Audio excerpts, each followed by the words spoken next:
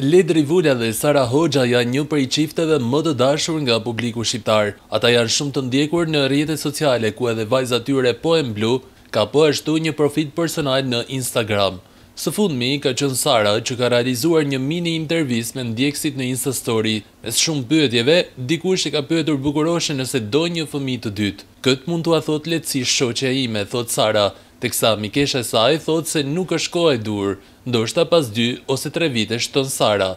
Kujtojmë se, pak kohë më parë, e pyetur nëse do të kishte dashur një motër, Sara zbuloi se kjo ka qenë ëndrra e saj më e madhe dhe njëkohësisht arsyeja pse Poem Blu nuk do ta lënë pa motër.